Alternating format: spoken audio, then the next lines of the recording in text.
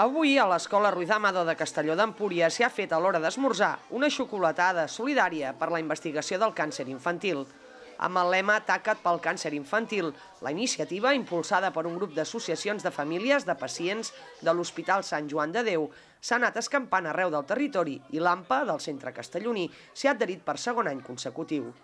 L'objectiu és recaptar fons per la recerca, però també sensibilitzar i conscienciar que l'única via per combatre el càncer infantil és la investigació ja que en aquest cas la prevenció no és possible. Bueno, la iniciativa és el segon any que ens ajuntem en ella, que és una iniciativa de l'Hospital Sant Joan de Déu de Barcelona, que fa una xocolatada solidària, que es pot adherir tots els centres que vulguin, i és per recollir diners per als projectes contra el càncer infantil. I com ha funcionat? Com us heu organitzat aquí?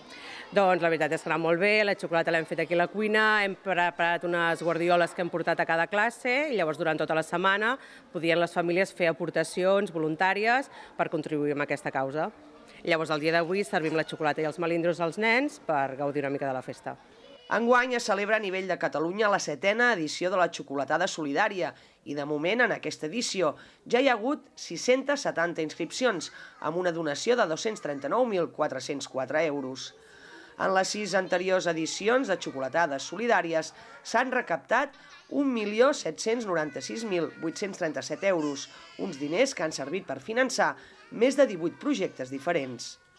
El Dia Internacional del Càncer Infantil és el dia 15 de febrer. Aquesta malaltia afecta cada any 1.200 nous infants a Espanya.